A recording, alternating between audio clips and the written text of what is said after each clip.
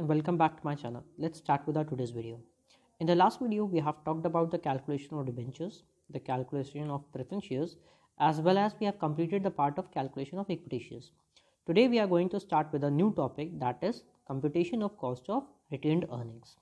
As we all know that कि all a good companies जितनी भी हमारी अच्छी कंपनीज होती हैं they do not distribute all of the profits to their shareholders. वो पूरा पूरा profit अपना shareholders को distribute नहीं करती हैं they keep a certain portion of the profit with them themselves for the purpose of future funding or financing. The portion that is being kept by the company for future purpose is known as retained earnings.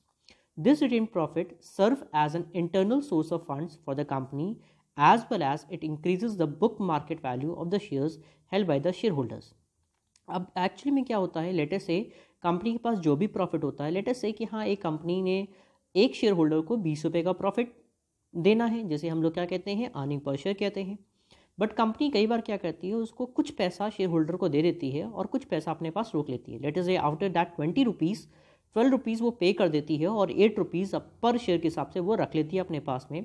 तो the portion that is been kept by the company with them self is known as retain earning तो वो portion को हम लोग क्या कहते हैं retain earnings company ऐसा करती क्यों है? इससे क्या होगा? एडवांटेज ये हो जाएगा कि कंपनी को फ्यूचर फाइनेंसिंग के लिए कोई भी दिक्कत नहीं होगी और क्योंकि कुछ एक्स्ट्रा फॉर्मेलिटीज़ करनी नहीं है, कंपनी के पास वो पैसे खुद से पहले से ही यहाँ पे पड़े हुए हैं।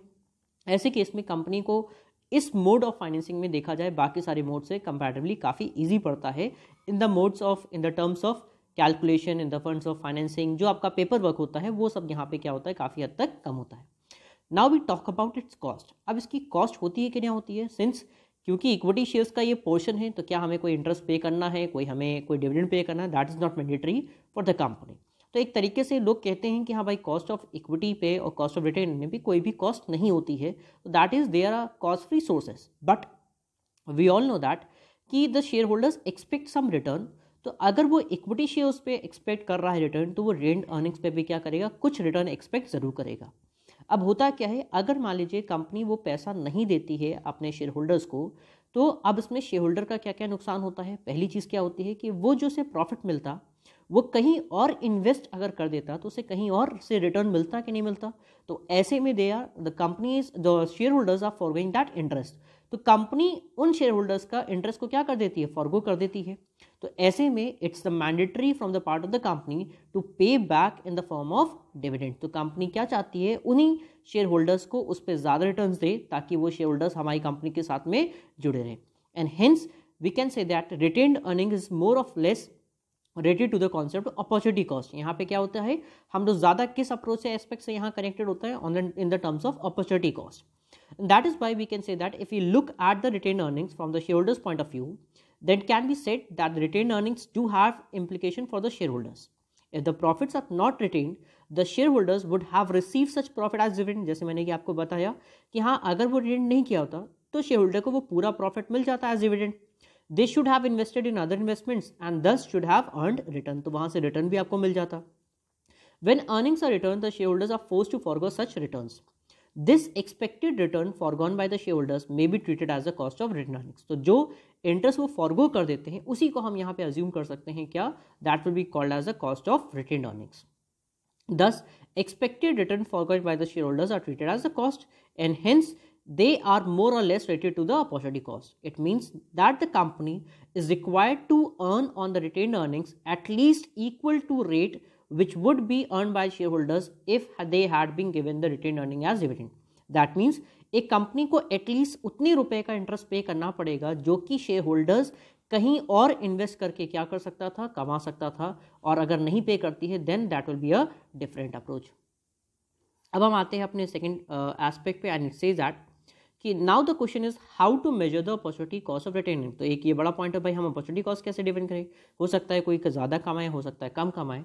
तो basically there is one approach which see that share holders जो रिटर्न हम लोग क्या इन्वेस्ट किए थे तो उन्होंने भाई हमारी कंपनी इन्वेस्ट किया था तो हम लोग क्या जो रिटर्न मिल रहा था?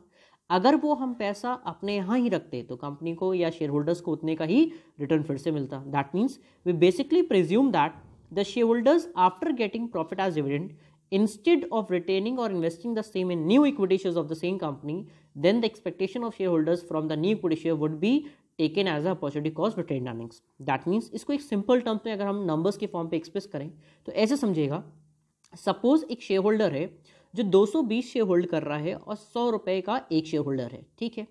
The company has earn rupees twenty per share उस टाइम पे कंपनी के पास जो प्रॉफिट था, वो कितने रुपए का आया था? बीस रुपए का ये प्रॉफिट आता है। तो हमने ये कहा कि कंपनी के पास प्रॉफिट कितने का आया? बीस रुपए का हुआ। And out of that profit rupees twelve has been distributed ये बारह रुपये शेयर होल्डर को हमने दे दिया तो इससे हमें कोई मतलब नहीं। हमें मतलब किससे? जो आठ रुपये हमने इनसे क्या कर लिया, रोक लिया, वो हमारा क्या पार्ट बनेगा? रिटेन्ड अर्निंग से। तो ये आठ रुपये तो हमने एक शेयर पे होल्ड किया, और जबकि वो बंदा कितने शेयर होल्ड कर रहा था? 220 तो 220 ट्वेंटी इंटू एट करेंगे। अगर इंटू एट कर देंगे 220 twenty into eight then we will get the total amount of retain earning और जो कि हमारी कितने रुपए हो जाएगी? यहाँ पे आप देख सकते हो equal to one seven six zero सत्रह सौ साठ रुपये हमारे पास in the form of retain earning हो जाएँगे। अब मानते हैं कि वो शेयर होल्डर किसी और कंपनी में अगर इन्वेस्ट करता तो ये सत्रह सौ सत्रह सौ साठ रुपये कहीं और इन्वेस्ट कर देता। और मानते कि जिस कंपनी में वो इन्वेस्ट करने आ रहा था तो उसका मार्केट शेयर एक शेयर का कितना था? 176 यानी कि अगर वो इन सत्रह सौ साठ रुपये से 176 के हिसाब से एक शेयर खरीदता, यानी टोटल वो कितने शेयर्स उस कंपनी के परचेज कर सकता था? टेन शेयर्स वो क्या कर लेता? परचेज कर लेता। सिंपल सा एस्पेक्ट है कि उस कंपनी के कितने शेयर इन्वेस्ट करता। टेन शेयर्स को as an in the form of investment वो कर देता। क्योंकि मार्केट में, जैसे मान लेते हैं, क्योंकि सेमी डिविडेंड पे करती है तो मान लेते हैं, जैसे हमने उनको ट्वेंटी रुपीज़ पे किया है तो वो कंपनी भी इसको क्या करती? ट्वेंटी रुपीज़ का क्या करती? है डिविडेंड पे करती। एक तरीके से यानी ट्वेंटी इंटू अगर हम हंड्रेड टेन कर देंगे तो यानी कितने रुपीज़ हो जाएगा?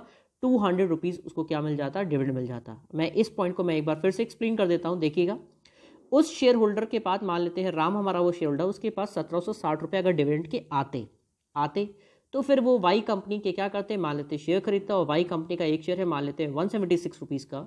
तो ऑब्वियसली अगर उस रेट से बात करें तो उसके टोटल कितने शेयर्स वो खरीदता? टेन शेयर्स वो परचेज कर लेता। अच्छा वो जब उसके टेन शेयर्स परचेज करता, क्योंकि डिविडेंड रेट मान लेते हैं सेम ही देते हैं तो यानी अगर वो कंपनी भी बीस रुपये पर शेयर का प्रॉफिट दे रही होती है शेयर होल्डर को और इन पर्सन ने, यानी कि राम ने, उस कंपनी के दस शेयर खरीदे। तो टोटल देखा जाए तो उसका प्रॉफिट कितने रुपए का आ गया? दो सौ रुपये दैट मीन्स दो सौ रुपये उसे मिल जाते जो पैसा कंपनी ने रोक लिया in the form of retain earnings so this two hundred may be treated as the cost of retain earnings for rupees one seven six zero यानी अगर हम बात करें, जो हमने one seven six zero rupees हमने ड्रॉप किया या अपने पास रोका, उससे, उसको रिटर्न कितने का मिल रहा था? दो सौ रुपये का। और इससे हम सॉल्व करेंगे तो we will get the answer as rupees eleven point three six यानी अब हमारी कॉस्ट ऑफ़ रिटेन अर्निंग्स कितने रुपये आ गई? Eleven point three six percentage हो गई। तो यहाँ पे काफ़ी सारे एजम्पन्स हैं जिसके बिहार पे हम अपनी कॉस्ट ऑफ़ रिटेन अर्निंग्स को कैलकुलेट कर सकते हैं। So basically we you simple use retain earnings of E share जिसको हम आर ई से रिप्रेजेंट करते हैं। And retained earnings from alternative investment of retained earnings यानी कहीं और इन्वेस्ट करके कंपनी जितना भी कमाती है, उसे प्रॉफिट को हम लिख सकते हैं। तो सिंपल्स जैसे मैंने आपको बताया था you can directly write the formula as A D upon A E into hundred कर देंगे, और ये हमारा सिंपल अप्रोच के साथ में क्या जाएगा? कॉस्ट ऑफ़ रिटेन्ड अर्निंग इस तरीके से हम लोग क्या कर लेंगे? कैलकुलेट कर लेंगे। But that is not a simple aspect थोड़ा सा इसमें और चेंजेस आ गए। And let's see that point अगर हम डिविडेंड की बात करते हैं तो डिविडेंड में थोड़े से कॉन्सेप्ट होते हैं, क्योंकि कंपनी को री इन्वेस्ट करने के लिए ब्रोकेज वगैरह भी पे करना पड़ेगा, या शेयर होल्डर हम बात करते हैं, कहीं और इन्वेस्ट करता तो उसे ब्रोकेज भी तो पे करना पड़ता तो एक तरीके से उसका प्रॉफिट वहाँ से भी रिड्यूस हो जाता तो हम वो भी एस्पेक्ट को कवर करते हैं। और अगर हम ये भी मानते हैं, क्योंकि जो कंपनी डिविडेंड पे करती है, वो इंडिविजुअल पर्सन को अपना टैक्स भी पे करना पड़ता। लेटेस्ट से कंपनी ने हंड्रेड रुपीज़ अगर राम को राम को दिया हुआ in the form of dividend तो राम जब अपना टैक्स फ़ाइल करेगा तो उसे इस हंड्रेड रुपीज़ पे टैक्स पे करना पड़ेगा। तो एक तरीके से उसे वो पूरा हंड्रेड नहीं मिलेगा, कुछ पैसा उसे कम करके मिलेगा। तो यानी जो डिविडेंड कंपनी पे करेगी उससे पर्सनल टैक्स भी अप्लाई होता है। साथ में अगर लॉन्ग टर्म अप्रोच होता है तो उस पर लॉन्ग टर्म कैपिटल टैक्स भी लगता है। यानी लंबे समय पे अगर आपने इसको सेल कर दिया जा करके तो भी आपका वो tax long term capital tax भी इस पर चार्ज होता है और साथ में ब्रोकेज भी होता है। तो अगर इन सारे एस्पेक्ट्स को अगर हम कवर कर ले we can write that formula in this basic form तो अब वही जो हमारा बेसिक सा फॉर्मूला वो थोड़ा सा चेंज हो गया। अगर देखिए वहाँ पे ब्रोकरेज और टैक्स का पॉइंट अप्लाई होता है तो हमारा फॉर्मूला हो जाएगा one minus personal tax bracket one minus brokerage और ए का मतलब होता है इन्वेस्टमेंट और upon retain earnings into hundred यानी जितना पैसा हमने रोका, जितना पैसा इन्वेस्ट किया और इस एस्पेक्ट से सॉल्व करेंगे तो हमारा वो पॉइंट आ जाएगा। बट बाई चांस मान लेते हैं कि उसमें तीनों एस्पेक्ट दे दिए, यानी ब्रोकेज भी दे दिया डिविडेंड टैक्स भी दे दिया और कैपिटल गैन कैपिटल गेन का भी टैक्स दे दिया तो हमारा क्या पॉइंट आएगा? हम इस तरीके से उस पॉइंट को क्या कर सकते हैं? कंप्यूट कर सकते हैं। तो इस तरीके से we can simply calculate the value of cost of retain earnings इस पॉइंट को थोड़ा समझने के लिए I have taken a simple illustration also and it says that mister Naitik holds 110 shares एक कंपनी के वो 110 शेयर्स है, और सौ रुपये के हिसाब से वाई कंपनी खरीदते हैं। The company has earned rupees ten per share and distributed six per share as dividend तो देखा जाए तो उसने छः रुपये डिस्ट्रीब्यूट कर दिए, यानी चार रुपये उसने अपने पास होल्ड कर लिया कंपनी के पास जो प्रॉफिट हुआ था, वो कितने रुपीज़ हुआ? टेन का। छः रुपये छः रुपये तो उन्होंने क्या कर दिए? डिस्ट्रीब्यूट कर दिए, लेकिन जो चार रुपये थे, वो इन्होंने अपने पास रख लिए in the form of retain earnings तो हमारी टोटल रिटेन अर्निंग्स कितनी होगी? क्योंकि उस कंपनी के वो कितने शेयर होल्डर के मालिक थे? 110 शेयर्स के। तो हंड्रेड टेन इंटू फोर करेंगे, कितने रुपीज़ हो गए? फोर फोर्टी रुपीज़ कंपनी ने अपने पास रोक लिए। अब हम देखते हैं इसका होता क्या है। कंपनी अगर रोक लिया तो पहले ये समझना होगा कि हाँ मिस्टर नैतिक कहीं और इन्वेस्ट कर सकते कि नहीं कर सकते थे। तो मार्केट प्राइस अब आगे and the balance retain the market price of the share of Y limited is hundred ten तो वो वाई कंपनी में कितने का शेयर खरीदते हैं? एक सौ दस। तो वो अपने चार सौ चालीस रुपये से वाई कंपनी का अगर शेयर खरीदते हैं तो मैक्सिमम कितने शेयर्स खरीद पाएँगे? चार ही शेयर्स तो खरीद पाएँगे। तो उस कंपनी के इन्होंने क्या कर लिए? चार शेयर्स खरीद लिए। अब चार शेयर्स करिए क्योंकि डिविडेंड का रेट जैसे कि हम दे रहे हैं या हमारी कंपनी दे रही है वैसे दूसरी कंपनी भी देगी। तो वहाँ पे भी इनको कितने रुपए का दस रुपये के रेट से मिलेगा यानी उनका प्रॉफिट कितने का हो जाएगा? उनको कहीं और इन्वेस्ट करने पे कितने रुपए मिल जाएँगे? फोर्टी रुपीज़ जो अगर ये चार सौ चालीस रुपये कंपनी रिटेन नहीं करती तो कहीं और इन्वेस्ट करके उनको सिर्फ़ कितने रुपए मिलते? फोर्टी रुपीज़ मिलती। अब हमारे पास पर, क्योंकि पर्सनल टैक्स रेट भी दे रखा है दैट इज़ ट्वेंटी परसेंट हमारे पास कोई ब्रोकेज का कॉन्सेप्ट नहीं है। कोई कैपिटल गेन का कॉन्सेप्ट नहीं है तो we simply applied the formula of one minus taxes upon A D का फॉर्मूला यूज़ करेंगे और whole upon R E into hundred उस फॉर्मूले में अप्लाई करते ही we can directly get the answer of cost of retain earnings so इस तरीके से आप कौन से क्वेश्चन को सॉल्व करते हो? कॉस्ट ऑफ़ रिटेन अर्निंग के पॉइंट्स को सॉल्व करते हो. So that's all for the day thank you everyone have a good day